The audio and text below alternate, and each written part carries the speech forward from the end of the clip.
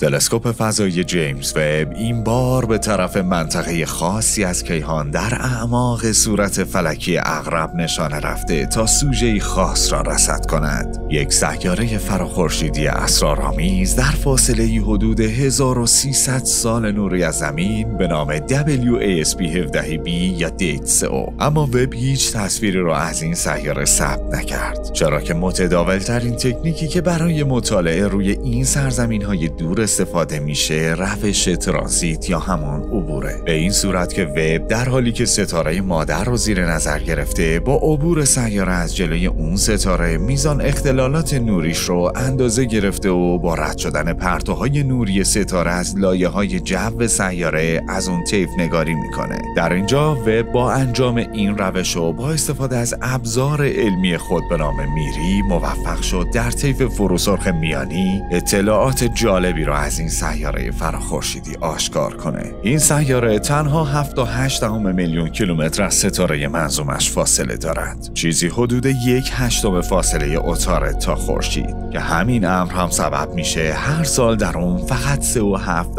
روز زمینی طول بکشه. به دلیل دوره مداری کوتاه اندازه بزرگ و جو بسیار غلیظ و گسترده اش سوژه مناسب برای رصد وب با استفاده از تیف سنجی انتقالی ایدئال. شده که شامل اندازهگیری تاثیرات جو سیاره بر نور ستاره یک از اون عبور می‌کنه. ستاره مادر این منظومه به نام WASP 17 معروف به DVO یک ستاره از نوع F است که بزرگتر، پرجرمتر، داغتر و سفیدتر از خورشید ما است. سیاره WASP 17b یک قفل مداری جزر و مدی هم داره. مدار رتروگراد در واقع حالتیه که جرمی کوچکتر در جهت مخالف چرخش جرم بزرگتر به دور اون میگرده. دمای سیاره در شب در خنکترین حالتش به حدود 725 درجه سانتیگراد و در طول روز در گرمترین موقعیت به چیزی حدود 1725 درجه سانتیگراد می‌رسه. هرچند این سیاره سالها پیش توسط تلسکوپ فضایی هابل و اسپیتزر مطالعه شده بود اما اکنون وب اطلاعات شگفتانگیزی را از آن فاش کرد. کیفنگاری با استفاده از ابزار علمی میری وب ویژگی های خاصی را درون جو این سیاره آشکار می‌کنه. اتمسفر WASP 17b عمدتا از هیدروژن و هلیوم به همراه مقادیر کمی بخار آب و همچنین دیوکسید کربن و سایر مولکول ها تشکیل شده. اما MIRI در طول موج 5 تا 12 میکرونی وجود ابرهایی رو در این سیاره نشان داد که از نانو کریستال های کوارتز SiO2 ساخته شدند. این واقعا عجیبه وقتی این داده ها رو با مطالعات پیشین تلسکوپ فضایی هابل تطبیق میدیم متوجه میشیم که احتمالا این کریستال ها به اندازه حدود 10 نانومتر و شکلی نوک‌تیز دارند کوارتز ها شکلی از سیلیکات ها هستند که به مواد معدنی سرشار از سیلیس و اکسیژن گفته میشه. بلورهای کوارتز در شکل های مختلفی در سیاره زمین دیده میشن که برخی از اونها رو می‌تونیم به عنوان جواهر در زیورالات استفاده کنیم.